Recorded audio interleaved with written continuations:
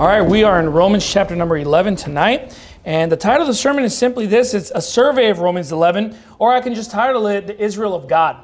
The Israel of God. Now, look down at your Bibles at Romans chapter 11 and verse number 1. It says, I say then, hath God cast away his people? God forbid, for I also am an Israelite of the seed of Abraham and of the tribe of Benjamin. Now, before we get into the actual chapter in and of itself, let me start off by giving uh, a bit of an introduction of what I'm referring to here. Now, we as a church, we hold to the doctrine of what's called replacement theology, right? And what that simply means is that we believe, according to the Bible, that believers, not the church, because the church doesn't exist, local churches exist, but we as believers have replaced the nation of Israel as being God's chosen people. In the Old Testament, the physical nation of Israel was the elect, they were the elect, they were God's chosen people, the physical nation in of itself. But at the death of Christ, the Bible tells us that he hath broken down the middle wall partition between us, and of twain hath made one new man. And in fact, the Bible also tells us in the Gospels that Jesus Christ said unto them that he basically has cast them away. The Bible says that he took the kingdom from them and gave it to a nation, bringing forth the fruits thereof. Now, what nation does that consist of? Well, it doesn't consist of Europe. It doesn't consist of Africa. It doesn't consist of America for sure. You know, what nation is this referring to? Well, it's a nation made up of believers, okay? So the change that we see there, the transformation that we see there from Old to New Testament is that now this nation is made up of just believers, whether you're black, white, Hispanic, you know, Asian, no matter what race you're a part of, you can be part of that nation. And in fact, the Bible also tells us that we are that chosen generation a royal priesthood, a holy nation, that we should show forth the praises of him who hath called us out of darkness into his marvelous light. And in fact, in that same chapter, it tells us that this is a spiritual house. So, just as in the Old Testament, you had the priesthood made up of those who are of Israel, physical nation, but not just of Israel, of the house of what? Aaron, the tribe of Levi. In the New Testament, it's not like that anymore. Now it's a spiritual house, not someone of Levi, not someone of the house of Aaron, but of the house of God. Okay? And so this concept and this doctrine is taught very distinctly, very clearly throughout the New Testament. This is a major theme that we see in the New Testament. It's very clear. You read throughout the New Testament, whether it's in the Gospels, the epistles of Paul, you'll constantly run into this, but specifically, you will run into it a lot in the book of Romans. Okay? And partly I was thinking about this. Why is it that we that, that the Apostle Paul covers this subject so thoroughly in the book of Romans? Why do you see it in Romans 2? Why do you see it in Romans 3, 4, 9, 10, and 11? Why is it we constantly see it? Well, if you remember, Rome was that empire that ruled over the Jews, right? But then you have people who are Romans who are now getting saved. But yet you still have Judaism very much prevalent throughout this time. And you know what? Judaism teaches racism against everyone else. They, they teach that they're better than everyone else. And so Paul is writing to the Romans telling them, hey, I know they're, they're, they're you know, they, they claim to be a Jew, but they're not. In fact, though you're a Roman, you're more Jew than them. Okay, we see that in Romans chapter number two.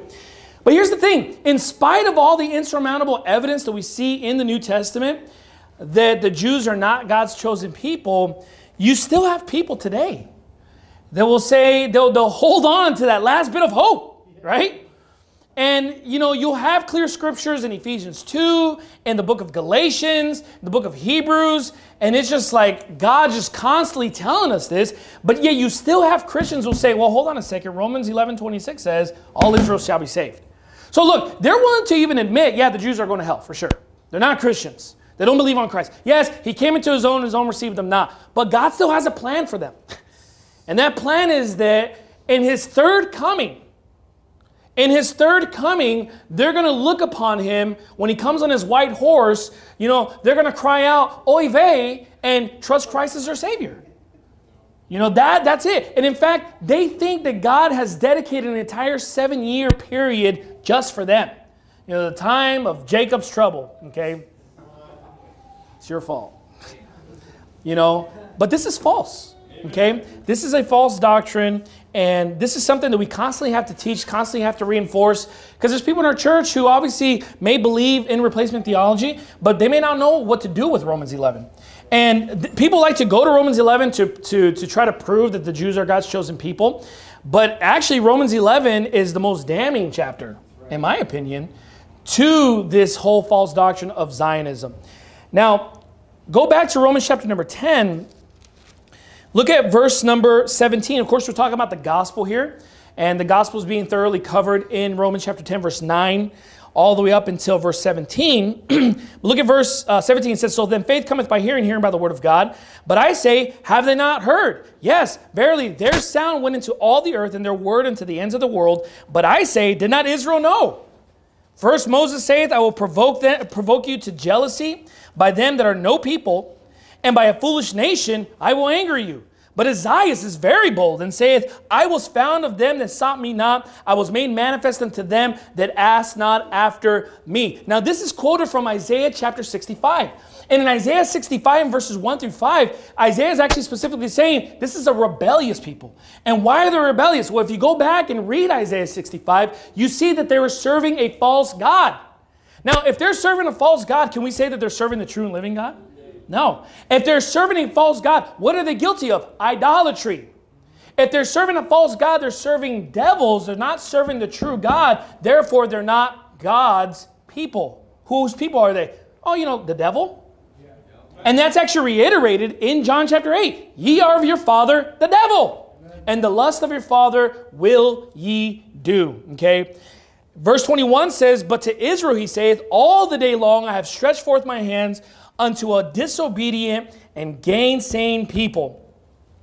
Now, dispensationalists, dipsticks, and even those who maybe don't adhere to the full blown retardation of dispensationalism, will take you to verse 1 and says, I say then, hath God cast away his people? God forbid. And just, that's it. you know? God hath not cast away his people. God forbid. And they just completely ignore everything else. We need to read everything. Amen? I say then, had God cast away Israel? Is that what it says? No, it actually says his people. Because here's the thing God did cast away Israel, He just didn't cast away his people. Now, how do you know that? Look at verse 15. For if the casting away of them be the reconciling of the world. So, do we see a contradiction here? Is there a contradiction? Because he's saying he's casting them away, and then in verse number one he says he did not cast them away. No, what he's saying is that he hath not cast away his people who are saved people. Amen. You see, one thing we have to understand is that in the Bible there are two Israels. There's two Israels. You know, look at look at chapter nine. Go back to chapter nine. And look at verse number six. Not as though the word of God had taken none effect, for they are not all Israel which are of Israel. Verse 7 Neither because they are the seed of Abraham are they all children, but in Isaac shall thy seed be called. That is, they which are the children of the flesh. These are not the children of God. But the children of the promise are counted for the seed. For this is the word of promise. At this time will I come, and Sarah shall have a son. And not only this, but when Rebekah also had conceived by one, even by our father Isaac, for the children being not yet born, neither having done any good evil, uh, good or evil, excuse me, that the purpose of God according to the election might stand, not of works, but of him that calleth. Go back to Romans chapter 11. So we see that there are two Israels. What are the two Israels? Israel according to the flesh, and then you have the Israel of God oh, that's not found in the Bible. Go to Galatians chapter 6. Amen. Verse 15 says, Peace be upon the Israel of God. Amen. And look, we can't say that God has two people. That wouldn't make that wouldn't coincide with Romans 11, 1 and Romans 11, 15. Because in Romans 11, 1, he's telling us, I haven't cast away my people. Yet in verse 15, talking about Israel, he says that they're cast away for the reconciling of the world. So, what is the only conclusion we can come to? That there are two Israels those who are according to the flesh and those who are actually the Israel of God. Okay? And it's further reinforced. Look what it says in verse number one. It says, I say then, hath God cast away his people? God forbid. For I also am an Israelite, of the seed of Abraham, of the tribe of Benjamin. There you go. Yeah, but here's the thing this is Paul speaking, and he's saved. So there goes that argument. It actually reinforces what we believe, right? Because he's actually saved and he's basically saying that people who are Israelites according to the flesh, but if they're Israelites as far as the Israel of God is concerned, God hath not cast them away. But he hath cast away those who are Israel according to the flesh. Look what it says in verse number two. God hath not cast away his people, which he what? Foreknew. Now that word should ring a bell with you, shouldn't it? Go to Romans chapter number 8. Look at Romans chapter 8. Romans chapter 8 and verse 29, it says, For whom he did foreknow, right? He also did predestinate to be conformed to the image of his son. Let me ask you a question. Are the Jews of today being conformed to the image of Jesus? No. No, they're actually being conformed to the image of the Antichrist, which is another Jesus. Okay? To the image of his son, that he might be the firstborn among many brethren. Moreover, whom he did predestinate, them he also called, whom he also called, them he also justified, and whom he justified, them he also glorified. So when Romans 11 tells us that God hath not cast away his people, he's talking about those whom he foreknew, which are referring to saved people, those whom he justified. It goes on to say, Why ye not, go back to Romans 11, verse 2, God hath not cast away his people, which he foreknew. Why ye not what the scripture saith of Elias? how he maketh intercessions to God against Israel. Now, here's another contradiction. because isn't, isn't Elias a part of Israel? But yet he's making a distinction between Elias, who's a saved man, and Israel. Think about that. And look, this chapter, along with the latter end of Romans chapter 10, Paul the Apostle is bringing out the, the, the dream team here. Talk about Moses, Isaiah, Elias, and we haven't even gotten to what David says. He's bringing the all-star, you know, team here, the special forces. Why? Because of the fact that the Jews very they're very much they they they they respect these prophets. So even their own prophets, Moses especially, right? Isaiah, David, and Elias are actually against them. So tell me this how can there be just one when you have Elias actually praying against Israel. You know, you have this thing amongst Zionist Christians. They're like, pray for Israel, pray for Israel. You know, I mean, you know, Elias did pray for Israel. The only difference is, is he prayed against them. okay? How he maketh intercessions to God against Israel. Hey, Elias would not be a popular Christian or a speaker in independent fundamental Baptist churches of today. Okay?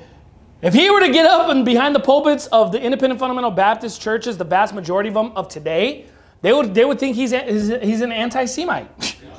like, oh, you hate Israel. And you, yeah, he, he hates them so much that he actually makes intercessions against them. You know what that means? In the spirit, he's like praying against them. Look what it goes on to say, verse 3, or saying, Lord, they have killed thy prophets and dig down thine altars, and I am left alone, and they seek my life. Hmm, they have killed thy prophets. Well, that sounds familiar. Go to Matthew chapter 23. Matthew chapter 23. And look at verse 29 of Matthew chapter 23. Now, in the New Testament, you have this religion of Judaism, very prevalent. You see this all over the Gospels. And the religious leaders of Judaism are known as the Pharisees, right? The Pharisees, Sadducees, the scribes. These are people who are responsible for moving the people to reject Jesus Christ, okay? These are the spiritual leaders who reject Christ, they hate Christ. These are people who actually adhere not to the law of Moses, though they claim to, they adhere to the traditions of their fathers, right? Look at verse 29. Woe unto you, scribes and Pharisees, hypocrites! because he build the tombs of the prophets and garnish the sepulchres of the righteous and say, if we had been in the days of our fathers, we would not have been partakers with them in the blood of the prophets. Wherefore, ye be witnesses unto yourselves that ye are the children of them which kill the prophets. Fill ye up then the measure of your fathers. Look what it says in verse 33 Ye serpents, ye chosen generation. No, actually, ye generation of vipers. What's a viper? Oh, it's a snake. What does that remind you of? The serpent in Genesis chapter 3? What does that remind you of? The devil. What can we compare that with? John chapter 8. Ye are of your father the devil. See how the Bible just matches up perfectly? It's so clear, it's so distinct. So when Elias is talking about, hey, they've killed thy prophets. In the New Testament, Jesus is preaching to their descendants of those who killed the prophets. Go back to Romans 11. Lord, they have killed thy prophets. Who? Israel. Lord, they have digged down thine altars. Who? Israel. Lord, I am left alone and they seek my life. Who? Israel. Look, we need we can't just stop at verse number 1. There's some juicy stuff all over this chapter. Okay? Look what it says in verse 4. But what saith the answer of God unto him? I have reserved to myself 7,000 men who have not bowed the knee to the image of Baal. So that very statement helps us to understand that those who are not part of that 7,000 were bowing their knees to Baal. That basically shows us that the Israel, according to the flesh, were not serving God, they were serving Baal. Therefore, they cannot be God's people if they're serving the devil. Okay? Now, this is a very pivotal and important verse right here, verse 4. Okay? Because he says, I have reserved to myself 7,000 prophets. And that's going to help you to understand verse 26 of all Israel being saved. Okay? We'll get back to that in just a bit. Verse 5. So he's saying this look, hey, even, you know, in Elijah's day, there were 7,000 prophets who had not bowed the knee to Baal, who were not part of the Israel according to the flesh, who were not rejecting God, they were not bowing the knee to Baal.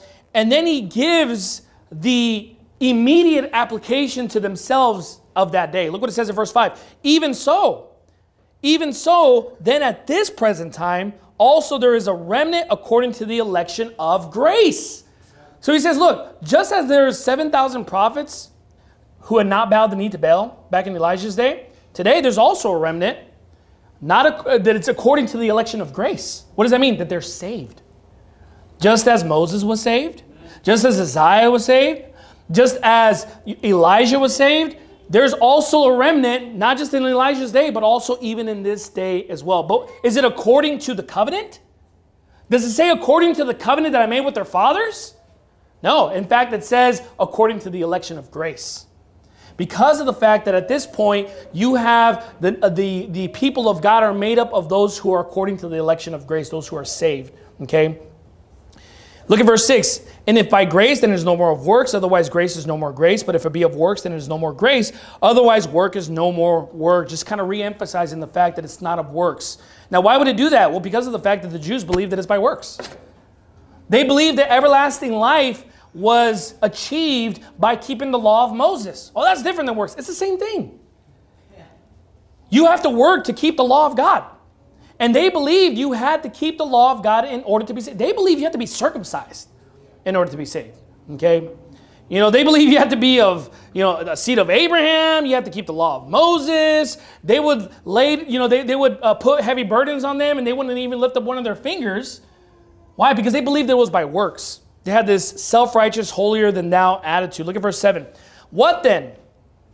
I like that. What then? Israel hath not obtained that which he seeketh for, but the election hath obtained it, and the rest were blinded. This I love this verse. Because people like to say that the Jews are the elect. And they like to put that label on the Jews for every single time that it's mentioned throughout the New Testament. You know, that's how they squirm their way around Matthew 24. You know, that gathering together his elect, referring to saved people. Okay? They'll say that it's referring to the Jews, and they'll put that label to every Christ rejecting Jew that's found in the New Testament. But there's a big problem with that. Why? Because verse 7 t- says that Israel hath not obtained that which he seeketh for, but the election hath obtained it. That would be a major contradiction. If the elect were Israel, how is it that Israel hath not obtained, but the election hath obtained it? Okay? What makes perfect sense is the election is referring to saved people. Okay? And it says there that the rest were blinded. The rest of Israel were blinded. Okay? Look at verse 8. According as it is written, God hath given them the spirit of slumber, eyes that they should not see, and ears that they should not hear unto this day. Now look what it says there. Does it say that they've given themselves a spirit of slumber? No, it says that God gave it to them. What's that called? That's called, you know, we had an entire conference this week called, you know, Make America Straight Again. And it was founded upon the doctrine of the reprobate doctrine. Okay? And what is the reprobate doctrine? It's the doctrine that teaches that God can give someone over to a reprobate mind. And what does reprobate mean? It means they're rejected Reprobate concerning the faith. In other words, they can't believe. I, would, I don't think that God would ever do it. He just did it right there in verse 8. God hath given them a spirit of slumber, eyes that they should not see, ears that they should not hear unto this day. Now, is it any coincidence that in chapter 10 and verse 17 it says, So then faith cometh by hearing, and hearing by the word of God?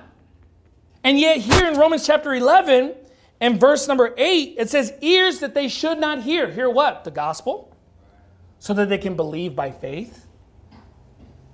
Would God do that? Look at John chapter 12. Go to John chapter 12.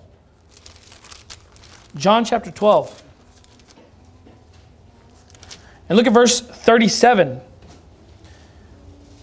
But though he had done so many miracles before them, yet they believed not on him. This is talking about the Jews. That the saying of Isaiah the prophet might be fulfilled, which he spake, Lord, who hath believed our report? And to whom hath the arm of the Lord been revealed? Therefore they could not believe, because that Isaiah said again, He hath blinded their eyes. So why is it that they could not believe? Because God hath blinded their eyes and hardened their heart, that they should not see with their eyes, nor understand with their heart, and be converted, and I should heal them. There you go. You know, the vast majority of Jews today are reprobate. That's just it. The vast majority of the nation of Israel, individuals, I'm talking about the, the, the nation's reprobate. Yeah. We understand that. Okay? I don't think anyone can argue that. The nation is reprobate. But you know what? The vast majority of the individuals are also reprobate as well. Yep. Why? Because God has given them a spirit of slumber eyes that they should not see, ears that they should not hear, and be converted, and God can heal them because He doesn't want to save them because they had rejected Him. Yep. Now, are there individual, are there pockets of people out there that can be saved that are Jews? Absolutely. You know, your watered down Jew who's just like not going to the synagogue and, you know, I don't know, just is not very grounded in Judaism. Yeah, possibly. But I guarantee you the vast majority of them are reprobate. Okay? Look at verse number 9. It says of Romans 11, And David saith, Let their table be made a snare. Whose? Their table. Yeah, who's their table? Israel. You know, people get mad at us because we have these imprecatory prayers towards faggots, towards, you know, false prophets, because we want these people to die and go to hell quickly. I'm just following David's example. Let their ta- I'm not, I'm not even as specific as David either. Let, the, let their table be made a snare and a trap and a stumbling block and a recompense unto them. What is a recompense? In other words, let them reap the fruit of their doings. That's what he's saying. Let their eyes be darkened. What does that mean? Well, we just saw in verse number eight. Darkened means so they cannot see, right? That they may not see and bow down their back always. Now, you know, we can't expound on this completely without going to Psalm 69 where this actually comes from. Because you know, when you when you see a New, uh, a New Testament rendition or a quotation, you need to go back to get the complete meaning. Amen. Go to Psalm 69. Psalm 69.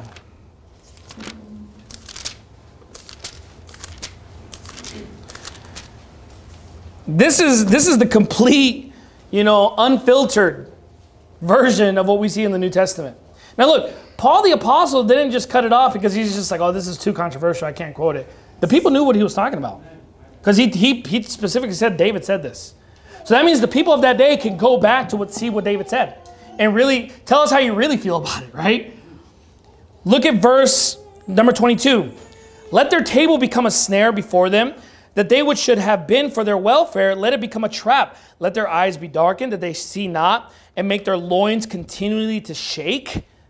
Pour out thine indignation upon them, and let thy wrathful anger take hold of them. Let their habitation be desolate, and let not them let none dwell in their tents. Man, for they persecute him whom thou hast smitten. Who? Jesus. So, what is the recompense that David is talking about here? He's talking about the fact that they crucified Jesus.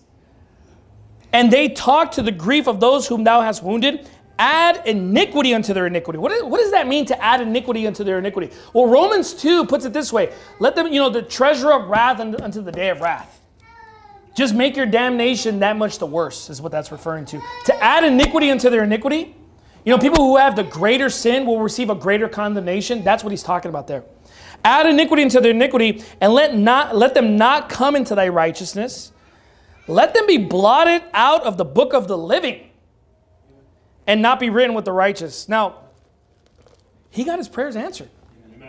Because when it says, let them be blotted out of the book of the living, he's actually asked, asking the Lord, let them become reprobate.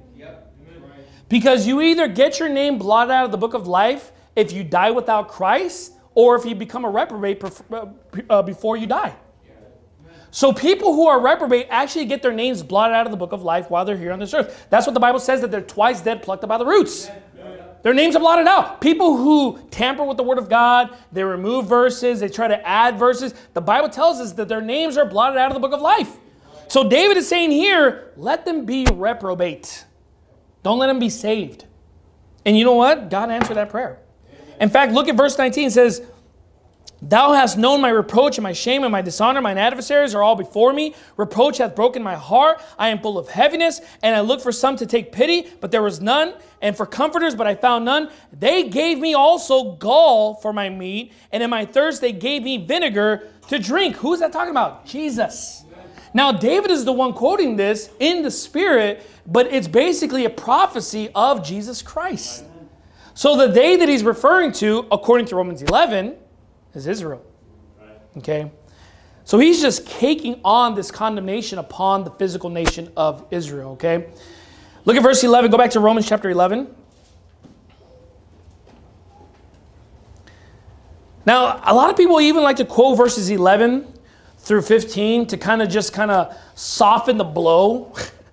the fact that God has just cast them away, that they're not God's chosen people. But we really got to, when you read it, you got to pay attention to what you're reading here. Look at verse 11. I say then, have they stumbled that they should fall? God forbid. So they're saying, look, they, they didn't stumble that they should just fall. But look what it goes on to say, but rather through their fall. So did they fall? Yes. What he's stating here is that they didn't fall just for no reason.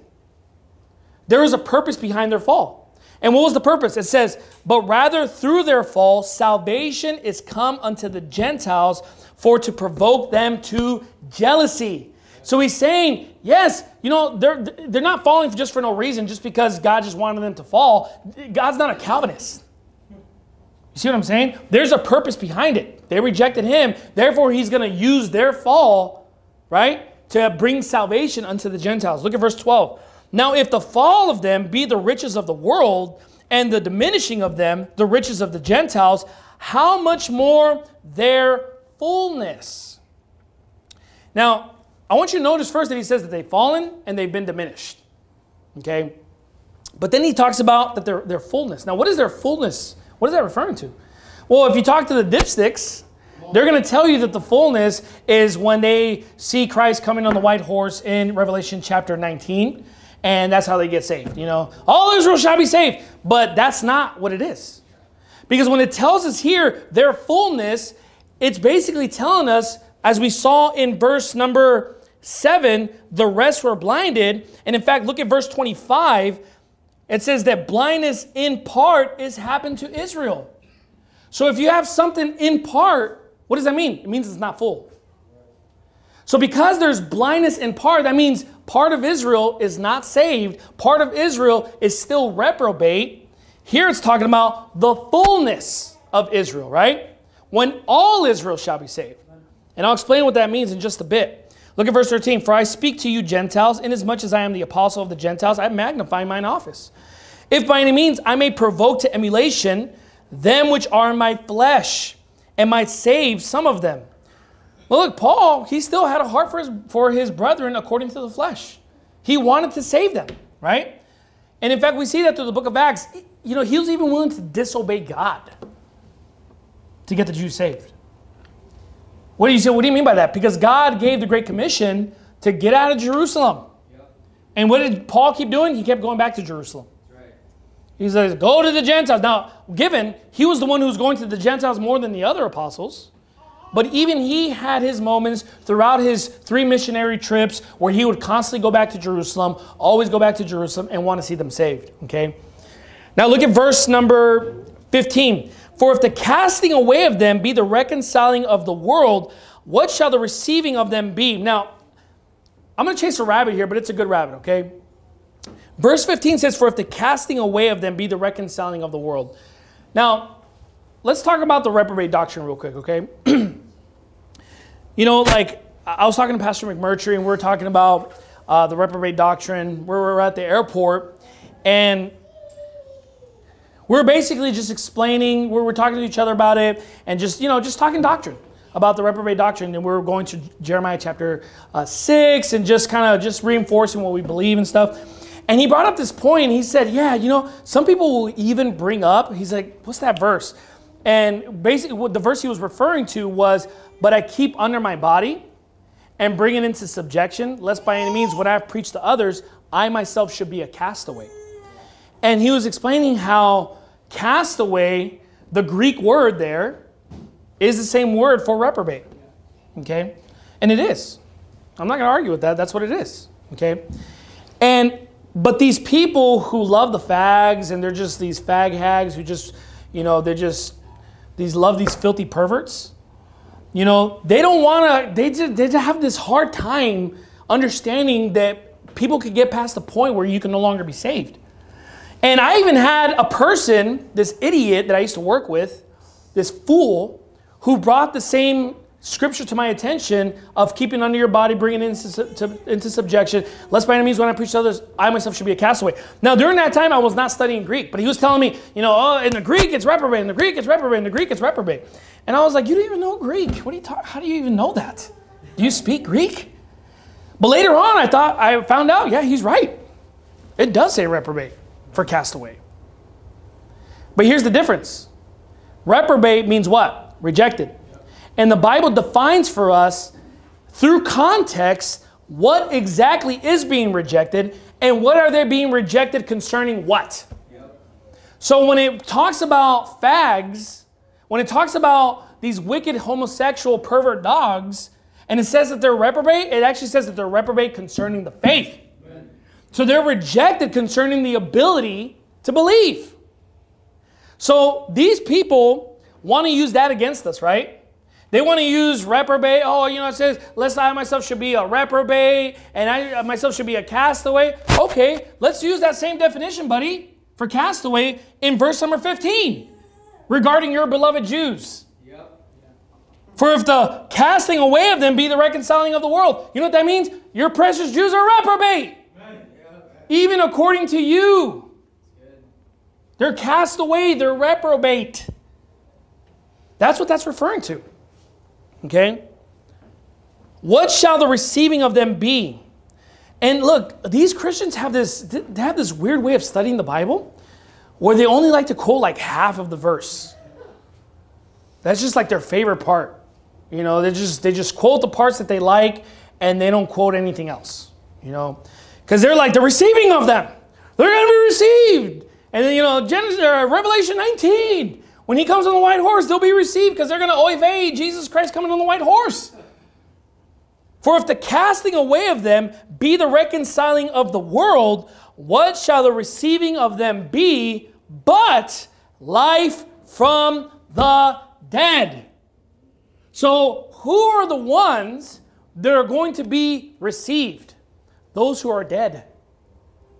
You say, what are you talking about? Oh, you know, the Jews who have died in times past, who were saved, what shall the receiving of them be? It's called the resurrection.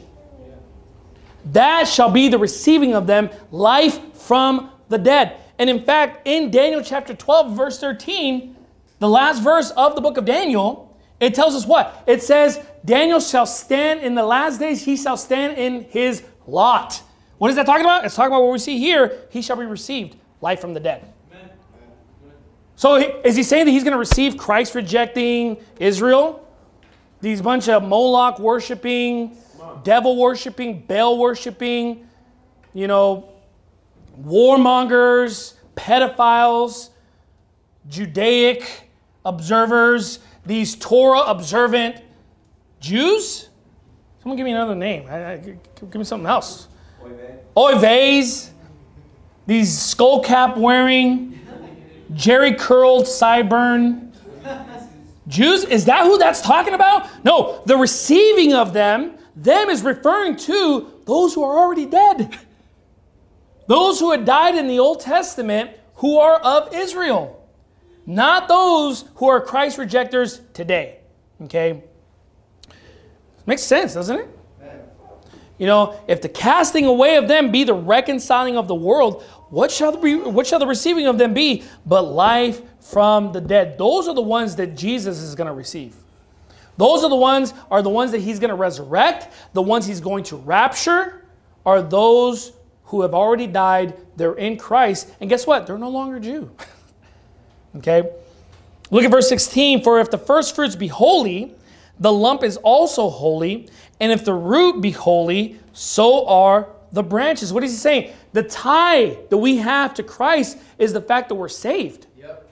Okay? That's what he's saying. Look, if the branches, excuse me, if the first roots be holy, the lump is also holy. Why? Because we're attached to Christ. Good.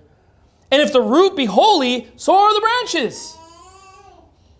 And if some of the branches be broken off, and thou being a wild olive tree, I like that name, were grafted, graft in among them, and with them partakest of the root and fatness of the olive tree, boast not against the branches, but if thou boast, thou bearest not the root, but the root thee. But who's the root? Jesus. What is it telling us there? The same thing it's telling us in Ephesians chapter 2, verse 8 through 9. You know, where it talks about, for by grace are you saved through faith, and that not of yourselves, not of works, lest any man should boast. You know, the fact that we are in Christ, we can't boast of that. The fact that we're part of the chosen generation, we cannot boast of that. We did nothing to earn that. Okay? If any man glory, let him glory in the cross of Christ. Let him glory in the Lord. Why? Because we don't bear the root, but the root thee. Verse 19, thou wilt say then, the branches were broken off that I might be grafted in. Well, well, that's true. Well, because of unbelief, they were broken off. So, why were they broken off? Why did they become reprobate? Because they chose not to believe. And thou standest by faith, be not high minded, but fear. For if God spare not the natural branches, take heed lest he also spare not thee. Behold, therefore, the goodness and severity of God on them which fell, severity, but toward thee, goodness. If thou continue in his goodness, otherwise thou also shall be cut off. Now, when it's referring to these branches, it's not referring to individuals. What is it referring to? Nations. And nations can be cut off. They can become reprobate just as the nation of Israel became a reprobate. Okay. Verse 23 And they also, if they abide not still in unbelief, shall be grafted in, for God is able to graft them in again. For if thou were cut out of the olive tree, which is wild by nature, and were grafted contrary to nature into a good olive tree, how much more shall these, which be the natural branches, be grafted into their own olive tree? For I would not, brethren, that ye should be ignorant of this mystery, lest ye should be wise in your own conceits, that blindness in part is happened to Israel until the fullness of the Gentiles be come in. So we saw in verse number seven that the rest were blinded, right? referring to Israel. And then it says in verse 25 that blindness in part is happened unto Israel until the fullness of the Gentiles be come in. So this side of the millennial reign, we will never see a perfect Israel. Because blindness in part is happening to Israel until the fullness of the Gentiles become in. Now, you know, I've heard the interpretation that, you know, all Israel being saved is referring to the coming of Christ, the, the first coming when he came, he died on the cross. And I don't necessarily have a problem with that I don't. I wouldn't necessarily believe that, um, just because we see the phrase here, the fullness of the Gentiles become in. And you compare that with Revelation chapter 13, you compare it with Luke chapter 16, the times of the Gentiles. This is a time period that takes place that covers a span of three and a half years. From the rapture thereafter into the millennial reign. Okay? You say, well, how do you know that? How do you know that the fullness of the Gentiles is referring to that? Well, because of verse 26 gives us the result of the fullness of the Gentiles become in. And so all Israel shall be saved, as it is written, there shall come out of Zion the deliverer, and shall turn away ungodliness from Jacob. Now look, ungodliness was not turned away from Jacob when Christ came in Bethlehem's manger. Ungodliness was not turned away from Jacob when Jesus Christ died on the cross. Right? Right. Obviously, he died and he died for the sins of the world. But here's the thing all Israel was not saved. Okay? In fact, when it says all Israel shall be saved, that word saved doesn't mean justified either. Sorry to break it to you. Every time the, the Bible says saved, it doesn't mean like justified. Okay? So, well, how do you know that this is not, this is not talking about salvation and justification? Well, because of the fact that you have multiple times throughout the New Testament where the word saved is being used and it's not in reference to justification. You said, what does it mean? Well, if you remember, I told you to remember, verse 4 I have reserved to myself 7,000 men who have not bowed the knee to Baal. What's another word for save? To reserve something. Right? If I tell you, hey, I'm going to be late, save me a seat. What am I saying? Reserve me a seat. So in Elijah's day, you had 7,000 people who were saved. Amen? They were reserved. God put them aside and they were reserved because they had not bowed to the image of Baal. In Paul's time, there was a remnant who was saved. They were reserved. And you know what? In the end times, during a millennial reign, all Israel, not just in part, but their fullness, right? All Israel shall be saved. All Israel shall be reserved. Because at that point, ungodliness is removed from Israel. Because what do you have Jesus doing at the beginning of the millennial reign? Those men who didn't want me to reign over them, slay them before me. You know, I want to I want to hear someone old IFB or talk about that verse. What does that mean, Pastor? I just I ran into this verse. What does this verse mean? Who is he talking about, preacher? He's talking about the Jews. Yep. Amen. He's going to slay them. Go to Jeremiah chapter 6. Jeremiah chapter 6. Let's look at a couple things here just to, just to further prove this point. Now, in the book of Jeremiah, you have Israel being given over to idolatry.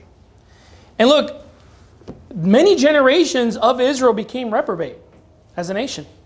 You know, then he would have to start over with a new generation, and they had the opportunity and the responsibility to trust the Lord and believe on the Lord as a nation, right? And look what it says here in verse number 28 of, Rome, of Jeremiah 6, excuse me. it says, They are all grievous revolters, walking with slanders. They are brass and iron, they're all corrupters. Referring to the nation of Israel. The bellows are burned, the lead is consumed of the fire, the founder melteth in vain. It says here, melteth in vain, for the wicked are not plucked away. So when he's talking about the founder, who is the founder? Who is that referring to? When he says the founder melteth in vain, who is that talking about? The Lord. You gotta, you gotta, you gotta understand who's who's he referring to. What he's talking about when the when the founder melteth in vain. It's talking about the fact that God is judging Israel. He's pouring fire on them. He's allowing them to be judged. He is allowing them to be overcome by a foreign enemy. But what is he saying? The founder melteth in vain. What does this mean? He's like, it's just a waste. Why is it a waste? Well, a founder who is melting brass, gold, silver is doing it to remove the dross from the silver, from the gold. But you know what? If you cannot remove the dross, if you cannot remove the impurities, if you cannot remove the filth, guess what? The founder melteth in vain. So what happens when you melt in vain? Verse 20, verse 30. Reprobate silver shall men call them because the Lord hath rejected them. It's like, ah, I can't, I can't take the away impurities from these things. So it's reprobate silver, it's useless. Why? Because the wicked are not plucked away. They're not being taken out. I think you're reading too much into that. Go to Proverbs 28. Proverbs chapter, or excuse me, Proverbs 25. Proverbs 25. Proverbs 28 is a good chapter too, though. You can read that later. Proverbs 25. Look at verse number 4. We see this principle here. Look what it says in verse number 4 of Proverbs 25. Take away the dross from the silver, and there shall come forth a vessel for the finer. Right? Now, look at verse number 5, and let's look at it through the lens of the millennial reign. take away the wicked from before the king, and his throne shall be established in righteousness. Bam. And what do we see at the millennial reign? We see ungodliness being removed from Israel. So, what Israel failed to do in Jeremiah chapter 6, because the, the founder was melting in vain because the wicked were not plucked away, we see Jesus Christ succeeding in the millennial reign. So, he removes the dross. So, at that point, they're no longer reprobate. Amen? The nation is not reprobate. Why? Because reprobate's already removed. Ungodliness is removed. And the Bible tells us here that when you take away the wicked from before the king, King Jesus, his throne shall be established in righteousness. What does that mean? It means all Israel shall be saved. All Israel shall be reserved. All Israel will be the elect. Okay? All Israel will be there. Their fullness is at the millennial reign. This is what that's referring to. Okay? Go back to Romans chapter 11. This is good stuff. Amen? So it says here, and so all Israel shall be saved, as it is written, there shall come out of Zion the deliverer, Jesus, and shall turn away ungodliness from Jacob. For this is my covenant unto them when I shall take away their sins. As concerning the gospel, they are enemies for your sakes. The Jews are enemies because they want to hinder the gospel. But as touching the election, those who are saved, they are beloved for the Father's sake right? For the gifts and callings of God are without repentance, for as ye in times past have not believed God, yet have now obtained mercy through their unbelief. Even so have these also now not believed, that through your mercy they also may obtain mercy. So, what is this talking about? Well, it's referring to those who are even in Israel who have not bowed the knee to Baal, but you know what? They're not saved as of yet. They still have an opportunity to be saved, right? The nation as a whole has become reprobate, but there are individuals, there's still individuals today that can be saved that are Jews. But it's very far, few, and in between. It doesn't happen very often. Okay? And we'll stop right there. So, what is Romans chapter 11 teaching us? It's basically teaching us, you know, there's no hope, basically, for, for this nation because it's already become reprobate. You know? And Baptists just need to just humble themselves and just say, you know what, just forget it, we're wrong. They're done. And stop trying to use Romans 11 as your proof text because that's the most embarrassing thing that the chapter that you can use. Because it's so damning to their doctrine. All over. Look, we got Moses has our back, Isaiah has our back, Elijah has her back, David has her back, and Paul has her back. Why? Because he, they're explaining here that the fullness, the election, the Israel of God are saved people, and these people, the fullness, when all Israel shall be saved, it's not until the millennial reign. Okay? And look, I'm okay with that. If when you talk about, you know, Israel and the Jews, and you're referring to those who are who are dead, who are going to be in the millennial reign, amen to that. That's true. But don't say that the Jews are God's chosen people of today. That's a false doctrine. Okay? That's pretty much it. Let's bow our heads and have a word of prayer. Father, we thank you so much for your word. Uh, thank you for Romans 11. I've read it through many times throughout the years, but it's just still so powerful, still so packed in with so much truth. And thank you, Lord, that in the New Testament, uh, your people, your chosen generation, your royal priesthood, the holy nation could be made up of just believers. And thank you so much for that. And, and, you know, we shouldn't boast of that. Let us glory in the, in the cross of Christ. Let us glory in the Lord and not boast in ourselves because we're not bearing the root, but the root us. And I pray, God, that you'd help us to continue to learn and grow in this area. And uh, bless all there is. Bless the fellowship to follow. In Jesus' name, amen.